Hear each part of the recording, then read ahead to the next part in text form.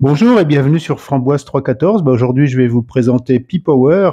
Alors, P-Power, euh, c'est quelque chose qu'on attend depuis pas mal de temps. C'est en fait un, un onduleur, on va dire que c'est un onduleur, mais quoi que ça ondule pas.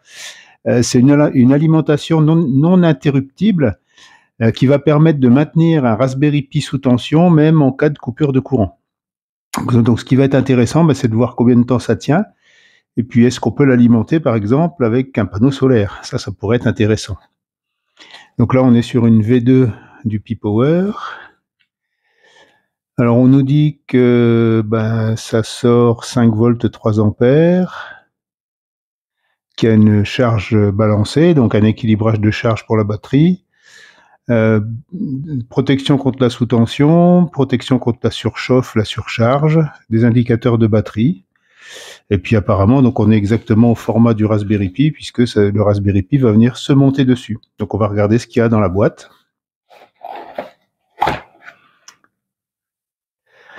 Alors dans la boîte de Pi Power, on va trouver bah, la classique visserie. On va trouver une batterie. Donc la batterie, elle n'est pas notée, mais enfin c'est des 18650. Et puis là, on a un, deux, trois, quatre, cinq fils. Donc on doit avoir un plus, un moins, et puis le fil central des deux batteries pour l'équilibrage de charge. Hein, donc voilà. C'est ça qui va alimenter votre Raspberry Pi quand il n'y aura plus de courant. On va avoir, bon ça, ça a l'air d'être du double face ou de la mousse. Euh, ici, ah bah, c'est de l'acrylique, c'est ce qui va permettre, je pense, de faire une espèce de boîtier ou de protection. On a, on a deux, euh, deux adaptateurs USB, USB-A vers USB-C et micro USB. Donc ça va permettre de brancher un Raspberry Pi 4 pour l'USB-C et un ancien Raspberry, Raspberry Pi 3 par exemple, pour euh, le micro USB. Qu'est-ce qu'on va encore trouver dans la boîte? Bah, la carte forcément, la carte d'adaptation, qui va avoir la charge de gérer la batterie.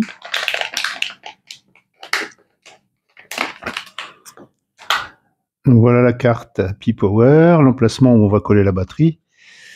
Et puis ici on a un connecteur qui est bien protégé.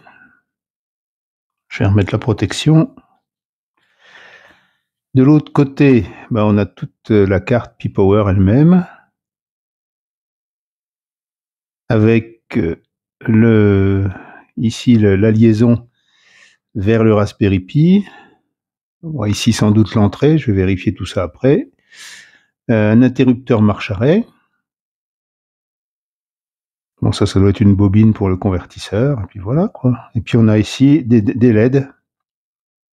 Donc qui doivent être l'indicateur de, batterie, en fait, de niveau de batterie. Donc c'est propre, c'est joli. Et là, on a un bornier à vis. Donc je vais voir peut-être pour une batterie externe ou une autre batterie. On va voir tout ça. le petit tournevis est fourni, ça c'est bien. Et puis qu'est-ce qui nous reste? Bah, Des colliers des colliers de nylon pour, euh, pour fixer des fils. Donc voilà tout ce qu'on a dans cette boîte. Donc moi je vais lui rajouter un Raspberry Pi 4. Si si j'en ai encore quelques-uns. Je vais rajouter un Raspberry Pi 4 et ça va me permettre de monter le, le kit et puis de voir comment ça fonctionne.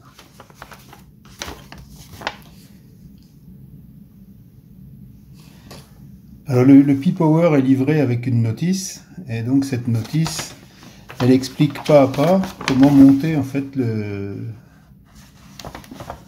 comment monter le, produit. Donc c'est cette notice que je vais suivre, hein, puis que je vais vous montrer pas à pas donc comment euh, on va pouvoir faire pour monter tout ça. Donc on va commencer par prendre la plaque. Sur cette plaque, on va poser le double face c'est une mousse adhésive qui va servir à euh, fixer en fait la batterie. Donc on va enlever la pellicule de protection. Et on va pouvoir poser l'adhésif au centre. Donc c'est là que va venir se loger la batterie. Donc maintenant, il faut que j'enlève la partie supérieure pour coller la batterie.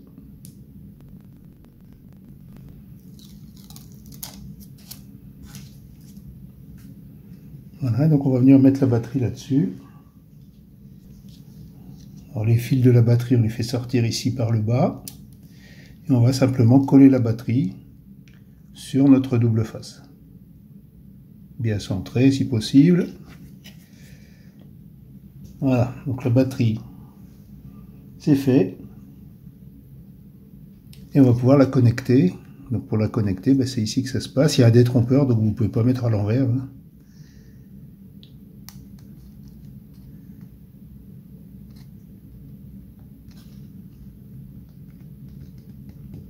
Voilà, la batterie est connectée.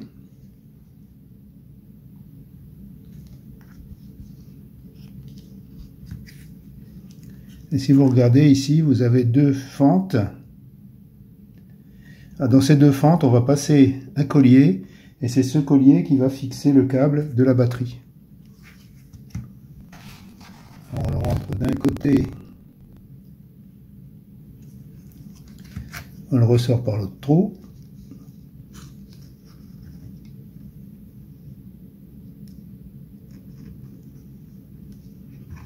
Et on va pouvoir le passer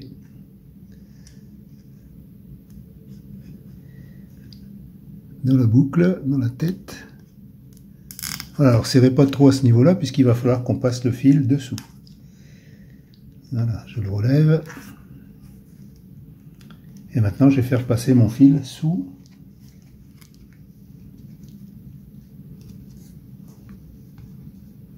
Voilà, donc je le replie.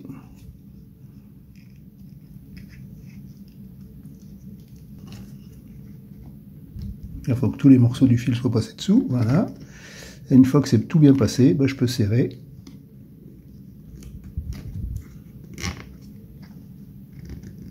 Voilà. Donc là, mon fil de batterie est maintenu. Et je vais pouvoir couper le morceau qui dépasse.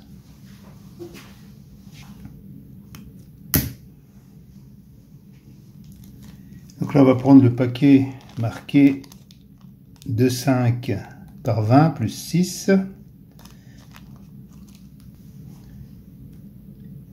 Et on va, mettre, on va mettre 4 entretoises ici dans les trous.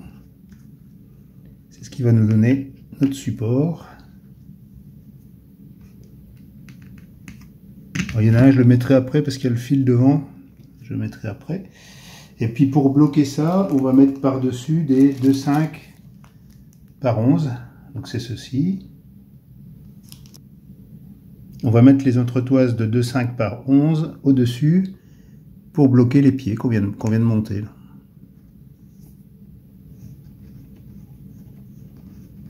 Donc là, je vais serrer à la main. Vous, il faudra serrer un peu plus fort quand même, si, si vous voulez que ça tienne dans le temps, surtout si c'est soumis à des vibrations. Il faut bien serrer.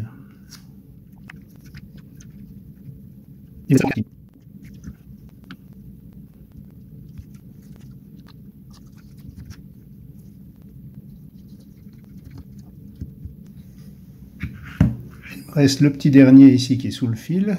donc je dégage un peu, ça ira mieux. Et pareil, je vais le fixer avec une petite entretoise.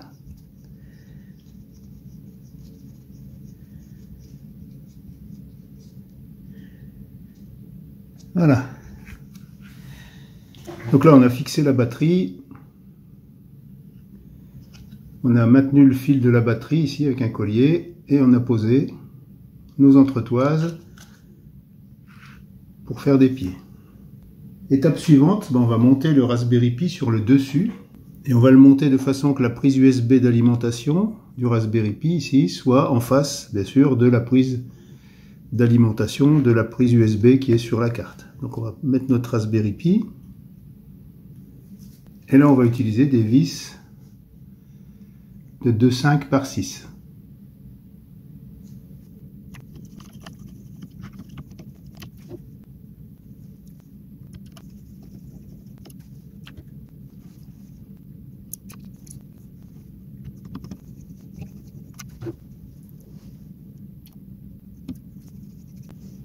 Et puis une fois que nos quatre vis sont en place, on va pouvoir serrer.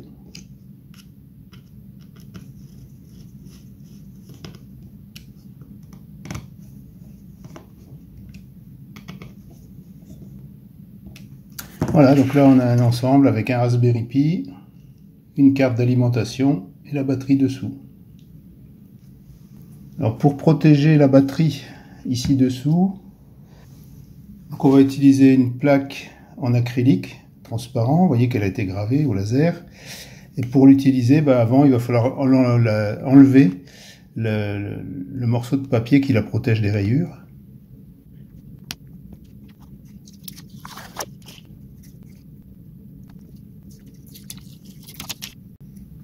vous voyez que la plaque a été gravée avec Sunfounder P-Power. Je vais finir d'enlever les, petits morceaux de papier qui restent collés et je reviens. Voilà, donc là c'est plus propre. Et on va pouvoir monter cette plaque de protection sur le fond pour protéger l'arrière de la batterie sur le P-Power. Alors pour ça, on va utiliser des entretoises de 2,5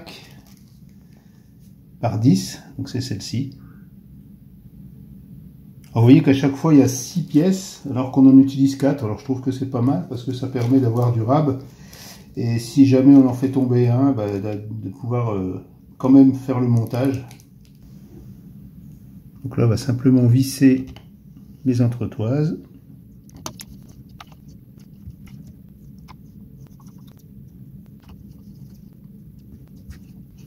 Voilà, on a déjà pas mal avancé là sur le montage du P-Power. il nous reste maintenant à mettre le câble. Donc moi c'est du Raspberry Pi 4. Donc pour du Raspberry Pi 4, je vais mettre le câble USB-C. Donc ici je vais mettre ce câble là dans la prise USB de la, carte P-Power et je vais mettre mon câble USB-C ici. Voilà, c'est chargé, c'est connecté. Alors maintenant, il faut mettre en charge avant de pouvoir utiliser. Donc je vais mettre en charge en utilisant un chargeur de, enfin une alimentation de Raspberry Pi 4. Je vais brancher ici pour voir un peu ce qui se passe. On va regarder ce qui se passe quand on connecte une alimentation de Raspberry Pi. Donc ici j'ai une alimentation de Raspberry Pi qui sort sur un port USB-C. Et je vais connecter ça sur la carte. Voilà, donc la lampe s'allume, donc il y, a, de la tension.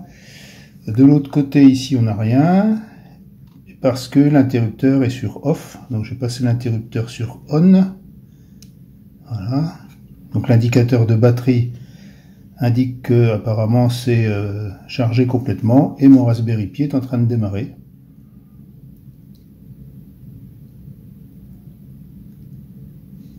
Voilà, donc tout va bien. Je vais laisser quelques instants comme ça et puis je reviens. Pour la suite, eh ben, il va falloir souder les, picots pour récupérer les signaux sur la carte Pi-Power. Ensuite, on va brancher les, signaux sur le Raspberry Pi. Donc ça va permettre de surveiller la, charge de la batterie. Euh, là, je vais faire un test pour vérifier donc les trois signaux.